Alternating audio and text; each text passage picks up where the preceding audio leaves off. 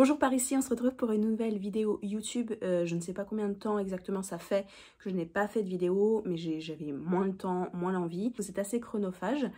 Euh, je n'ai pas fait de vidéo produit terminé donc depuis un certain temps et là j'ai accumulé pas mal de produits. Je me suis dit, je me suis levée à 7h ce matin et je me suis dit je vais faire la vidéo aujourd'hui pour cet été, ce sera parfait, comme ça je me sors ça de la tête. J'espère que ça vous fera plaisir et que euh, bah, le, retour que j'ai sur certains produits vous aideront à faire un choix si vous étiez dans l'optique d'achat. Je vais commencer tout de suite par euh, la catégorie soins. J'ai pas mal terminé de choses. Je vais commencer par deux produits soins que j'ai terminés de la marque Dr Auschka. Je vous les ai pas mal montrés sur Instagram euh, au cours de leur utilisation. J'ai terminé notamment la lotion tonifiante et le sérum tonifiant de nuit. Alors j'ai beaucoup beaucoup aimé ces produits, notamment la lotion tonifiante. C'est euh, une, lotion c'était une lotion avec une légère odeur un peu légèrement fruitée, euh, assez florale que j'ai pas mal aimé. C'est vrai qu'on peut vite se lasser par contre, surtout avec ces fortes chaleurs. C'est une lotion que j'appliquais le matin après m'être euh, lavé le visage, au cours de la journée quand j'avais un coup de chaud. Enfin bref, elle est vraiment multi-usage. Elle est assez douce, même s'il y a de l'alcool derrière, c'est de l'alcool euh, végétal. Euh, j'ai pas mal aimé. Franchement, je pense que je, vais aller voir d'autres produits de la marque Dr. Auschka parce que celui-ci, pour moi, c'était un top. Le sérum, je l'ai terminé assez vite. Euh, vous avez vu, je l'ai tordu dans tous les sens. C'était la même gamme, le sérum tonifiant. Il avait une odeur aussi légèrement euh, un peu végétale, alcoolisé végétal. J'ai moins aimé cette odeur-là. Il avait une texture gel qui laissait pas trop d'effet collant sur le visage après application. Euh, oui, pas mal aimé. Par contre, celui-ci, je pense pas le racheter parce que j'ai pas spécialement vu un effet waouh, même s'il était super agréable d'utilisation. Ensuite, j'ai terminé deux produits que j'avais achetés chez Oh Cream. Le premier, c'est une petite eau florale à la rose, euh, bio, de la marque Rose. Euh, alors, ce qui est très bizarre, c'est qu'au tout début de, de l'utilisation de ce produit, dès que je pulvérisais, j'avais une quinte de tout. Donc, je pense qu'il y a un ingrédient à l'intérieur qui m'est pas trop favorable. Euh, avec le temps, ça s'est un, peu, euh, un peu espacé parce que je me pulvérisais, puis après je changeais d'endroit. Je restais pas vraiment là où j'avais sprayé, donc je ne sais pas. Écoutez, ça me fait ça avec euh, certains produits, c'est assez rare. Mais j'essaie de regarder la composition, j'ai un truc particulier. Je l'ai terminé ultra rapidement, c'est une bouteille de 50 ml, je crois qu'elle vaut aux alentours de 17 euros. Je trouve ça assez cher aussi pour ce que c'est, agréable, mais je la rachèterai pas, c'est sûr. maintenant, j'ai des hydrolats bio qui sont euh, peut-être trois fois moins chers, je pense. Mais euh, bon, si vous voulez vous faire plaisir, c'est un petit produit sympa. J'ai terminé un sérum de la marque Sunday le sérum CEO avec 15% de vitamine C. Euh, j'ai beaucoup aimé l'odeur, il avait une odeur légèrement agrume, comme beaucoup de produits à la vitamine C. Je l'ai pas mal aimé. Pareil, j'ai eu l'impression de le terminer ultra rapidement il avait un effet effectivement illuminateur, c'est un sérum euh, voilà brightening. Euh, ça m'a pas trop sensibilisé la peau, même s'il faut quand même faire attention, pas s'exposer après au soleil, après avoir mis, euh, voilà, parce que c'est quand même assez photosensibilisant. Plutôt agréable, c'est vrai que j'avais la peau bien illuminée, bien hydratée. Maintenant, pareil, vu le prix, je suis pas sûre de racheter. J'avais envie de me laisser tenter par des sérums Good Jeans de Sunday Riley que j'avais testé en boutique et qui m'avaient l'air Franchement pas mal. Je crois que les produits sont autour de 70-80 euros, peut-être un peu moins cher, je sais plus, ça se réfléchit. Euh, et je pense qu'on a aussi pas mal de bons produits dans des gammes peut-être un peu moins chères. J'ai terminé deux produits soins de la marque Chanel, euh, deux bof, voilà, un peu pas des flops, mais je pas spécialement aimé ça.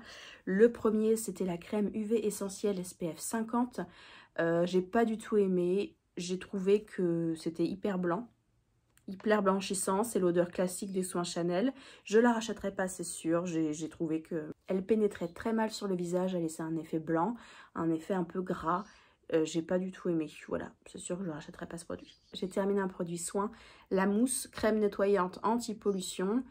Euh, j'ai mis un temps fou à la terminer parce que j'ai pas du tout aimé non plus le produit. J'ai trouvé que c'était pas pratique. Euh, l'odeur, bon, classique, rien à dire j'ai trouvé qu'en fait ça s'émulsionnait pas super bien, ça décollait pas super bien, ça démaquillait pas de ouf, donc euh, j'ai pas, pas du tout aimé la sensorialité de ce produit, je sais pas, je pense que ça tient à la texture qui était euh, trop crème, euh, je n'ai pas, du tout aimé quoi, c'est tout. J'ai terminé un bronzer de la marque Chanel aussi, la gamme Les Beiges, c'est la teinte numéro 40. je l'avais acheté il y a un an, plus d'un an maintenant, et je l'ai utilisée quasiment tous les jours. Elle s'est creusée assez euh, lentement, je dois dire. Euh, le problème, c'est que le peu qui reste à l'intérieur a séché. Euh, voilà, là je suis partie sur carrément autre chose et sur des bronzers qui sont un peu illuminateurs. donc je vous en parlerai peut-être un peu plus tard.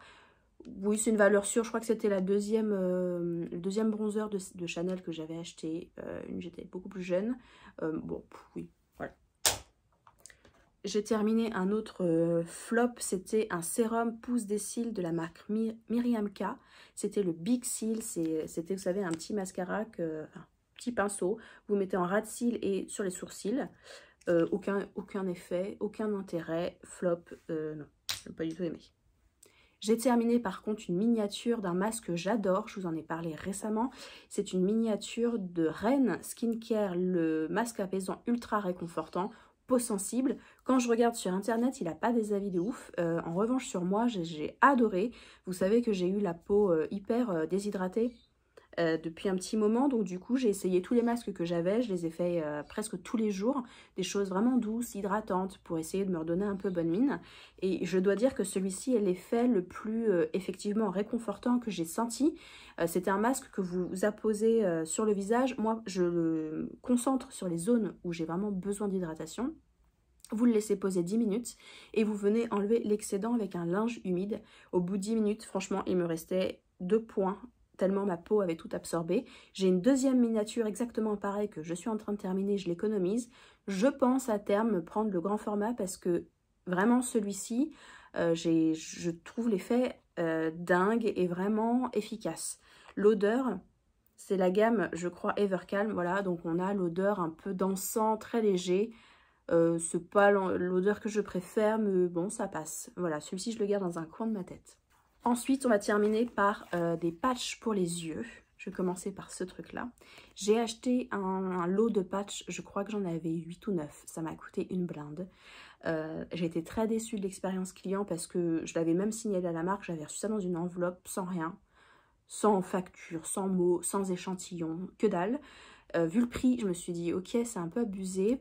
Et vous savez, c'était les patchs un peu marron, avec des petits points que vous mettez, sous les yeux. J'ai trouvé inefficace au possible. Je crois que ce sont les patchs les, moins utiles que j'ai pu essayer. Je comprends pas, beaucoup de personnes les adorent.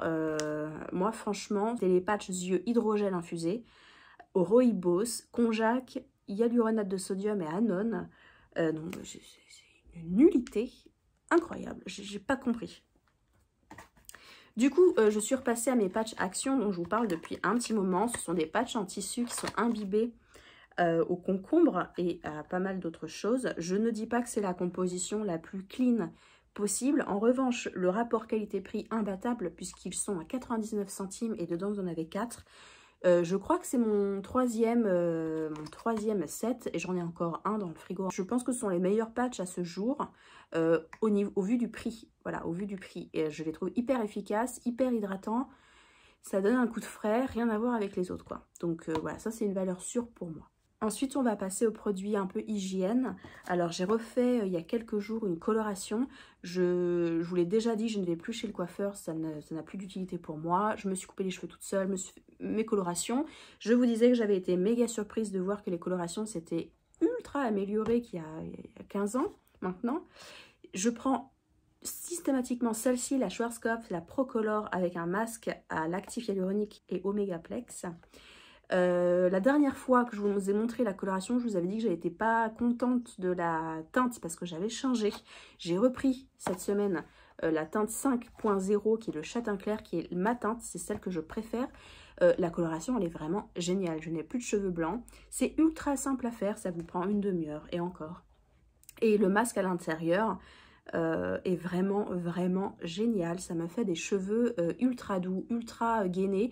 J'aimerais bien qu'ils vendent ce masque seul. Je pense que ce serait le seul masque d'ailleurs cheveux que j'utiliserais.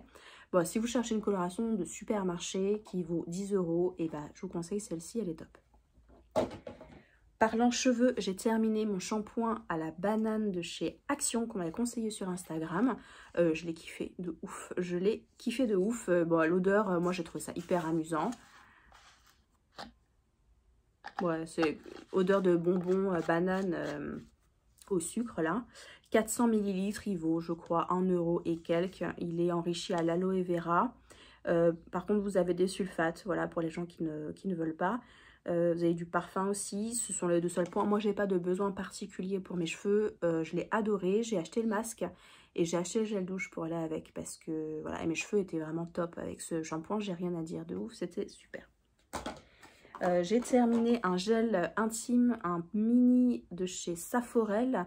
je vous le dis à chaque fois, mais je vous conseille, effectivement, je vous dis à chaque fois, de prendre des gels intimes spécialement euh, pour vous parce que c'est hyper important de euh, prendre soin de sa flore et de sa muqueuse. Celui-ci avait une odeur de lavande. Moi, j'oscille entre euh, celui-ci et le Sogela que j'ai actuellement. C'est à peu près pareil, c'est à peu près similaire. je vous conseille d'aller dans certaines parapharmacies où ils sont vraiment pas chers parce que dans certaines villes, ils se font grave plaisir au niveau des marges. Mais voilà, c'est tout petit, pratique à emporter, rien à dire de plus. J'ai terminé un déodorant de la marque Mon Savon au lait sans alcool avec du talc 100% naturel. Je l'ai trouvé aussi chez Action celui-ci à la bergamote très pétillante. J'ai adoré ce déodorant. Je ne l'ai pas payé cher du tout, je crois que c'était 1 euro aussi. Je vous en ai longtemps parlé. Alors après, pour les nanas qui n'aiment pas le talc, c'est sûr que c'est pas évident, euh, c'est pas pour vous. Euh, c'est pas du tout pratique à mettre dans son sac. L'aérosol, c'est pas le plus euh, écologique et c'est pas le plus pratique non plus avec les fortes chaleurs et tout ça. En revanche, celui-ci, il est top. Je l'ai cherché la dernière fois, je ne l'ai pas vu. En tout cas, il n'y avait pas d'autres senteurs euh, non plus. Et l'odeur était ultra agréable, très frais, un peu pétillant. C'est exactement ça. Donc, je bien aimé ce produit. J'ai terminé un dentifrice de chez Boto. C'est un dentifrice aux huiles, aux essences naturelles, pardon, anis, citron, réglisse. Euh, c'est une pâte à dentifrice qui aurait été inspirée euh, par une recette pour le roi Louis XV en 1755. Euh, je sais que les bains de bouche de cette marque sont hyper réputés. moi, ce que je peux vous dire de ce dentifrice, ça vaut 4 euros. J'ai voulu tenter le coup. Agréable. On sent bien l'anis. c'est vrai qu'on sent bien l'anis. Il y a d'autres senteurs. Il y en a à la cannelle et tout ça. Je pense pas racheter parce que sans un, pas sans intérêt, mais ça n'a pas non plus un effet incroyable. Je vous disais, j'ai terminé un autre, euh, set, je l'ai perdu dans le sac, vous voyez, j'en utilise quand même pas mal. Ensuite, on va passer à la catégorie alimentation. J'ai terminé pas mal de petites choses. Je vais commencer par un jus d'aloe vera bio à boire. Euh, je l'ai acheté sur un site green pour faire une cure à ingérer. J'ai ultra mal supporté le jus d'aloe vera pur. J'ai regardé un peu sur internet parce que ça m'a donné des maux d'estomac terribles. Euh, comme le vinaigre de cidre d'ailleurs. Je pense que je suis très très fragile euh, au niveau de l'estomac. Euh, j'ai vu qu'il y avait pas mal de personnes aussi qui étaient sujettes à des allergies à l'aloe vera interne. Donc non, bah, je n'ai pas terminé. Je, je, crois que j'en ai plus la moitié. Le reste, je l'ai jeté parce que c'était... Bon, ça se garde pas non plus des masses et des mois. Déception parce que j'ai vu que ça avait pas mal de bienfaits quand c'était ingéré, mais euh, clairement, bon, c'est pas pour moi. Tant pis. J'ai terminé deux thés. J'ai terminé un thé de la marque Mariage Frère. C'était un thé bleu Belle Amie.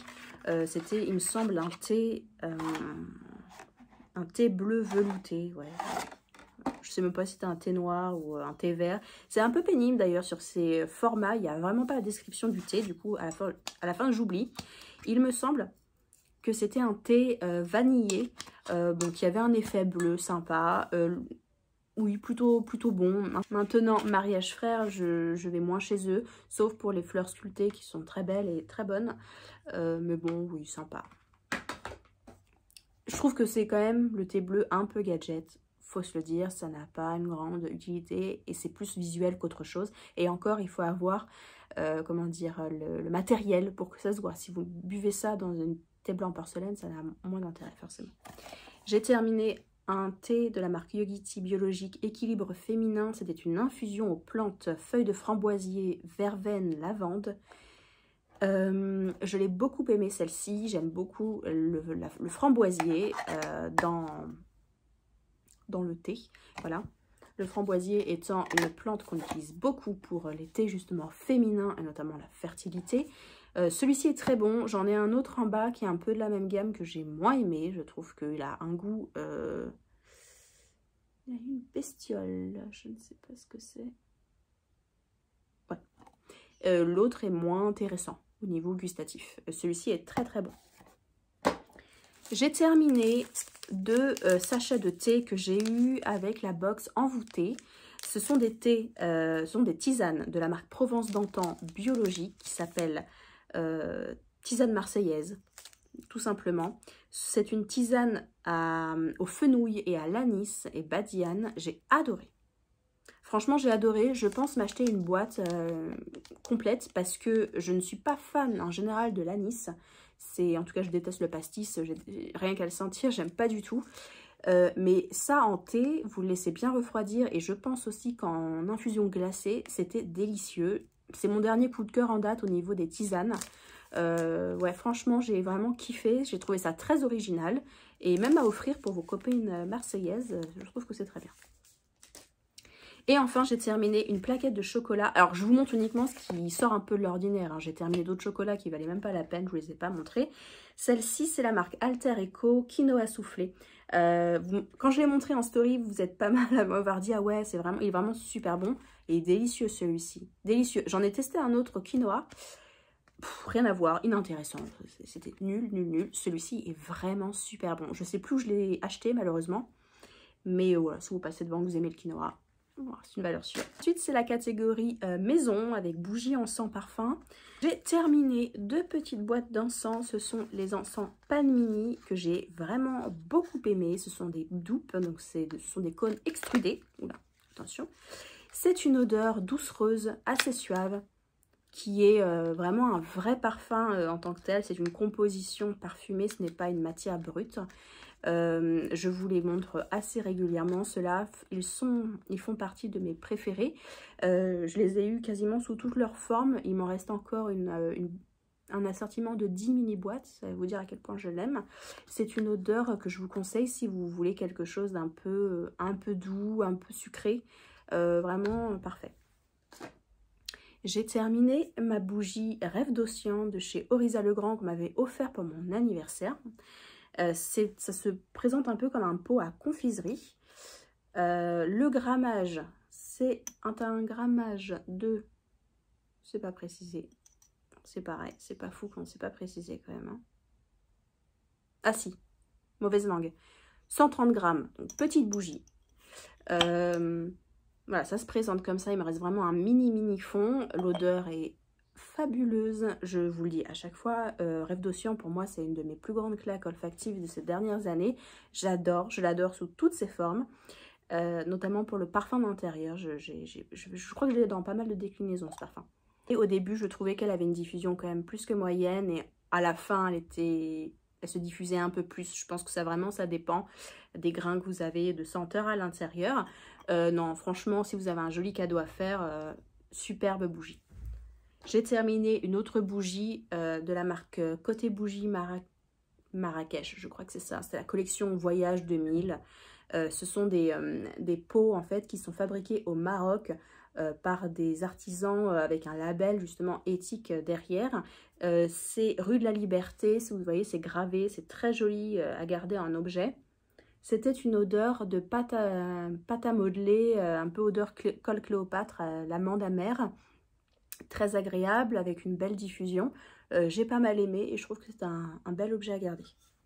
Et enfin, je fais vite parce que j'ai plus de batterie.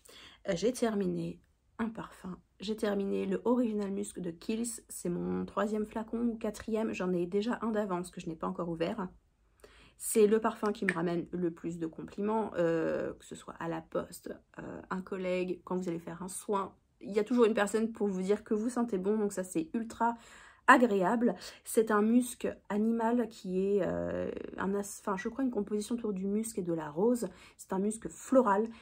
Après, ça dépend des peaux. Euh, moi, je fais plus sortir le côté euh, muscle et d'autres euh, font ressortir le côté floral. Ça dépend vraiment du pH de votre peau, j'arrête pas de vous le dire. Et aussi des conditions météorologiques, blablabla. C'est l'un de mes parfums préférés, c'est l'un de mes parfums, je vous dis, qui, retient le plus d'attention. C'est toujours plus agréable quand on porte un parfum passe-partout où personne ne le sent, tout le monde s'en fout. Celui-ci, il est vraiment, vraiment à part. Il est il a une vraie personnalité et euh, bah, quand vous avez toute la gamme, le gel douche, le lait corporel, l'huile et tout ça, bah c'est une tuerie quoi. Voilà, pour toutes les, peut-être pas en plein été, en pleine chaleur, quoique ça peut être super agréable. Mais euh, voilà, ça c'est sûr que je le rachèterai indéfiniment. Et eh bah écoutez, c'était pas mal. Je crois qu'on est à plus de 20 minutes. Je vais essayer de réduire au maximum pour que ce soit le moins long possible.